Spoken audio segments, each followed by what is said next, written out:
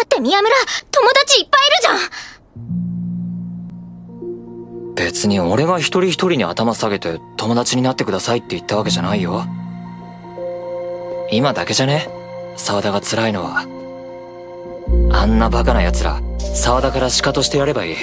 そんで、向こうが友達になってくれって頭下げるところまで行ったら、沢田の勝ち。